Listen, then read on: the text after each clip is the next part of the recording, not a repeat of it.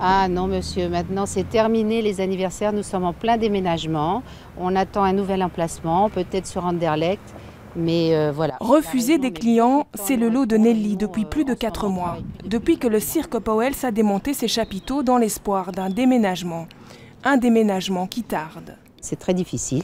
On pioche dans les réserves et les réserves commencent à baisser, bien sûr. Les factures arrivent toujours.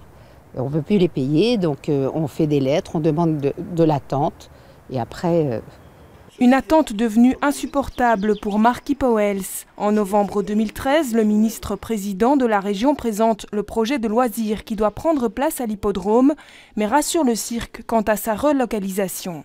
Mais bien évidemment, la région reste disponible pour aider à trouver une solution de relocalisation pour le cirque. La région a effectivement proposé l'un de ses terrains dans le haut d'Anderlecht. Mais c'est un terrain privé qui intéresse la famille Powells, également du côté d'Anderlecht, à deux pas de la station Eddy Merckx. Quoi qu'il en soit, pour l'un comme pour l'autre, il faut un permis. Ben oui, un nouvel obstacle. On doit demander donc, ce qui est normal, euh, un permis d'urbanisme. Il pourrait y avoir un temporaire, bien sûr, mais on nous dit que de toute façon, euh, avant d'avoir une réponse, ça va tarder entre 4 et 6 mois.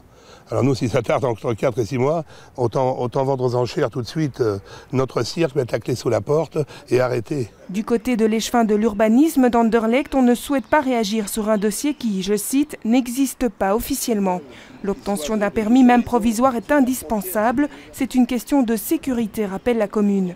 La famille Poels demande aujourd'hui à la région de continuer à soutenir son cirque dans ses démarches administratives pour l'obtention au moins d'un permis provisoire.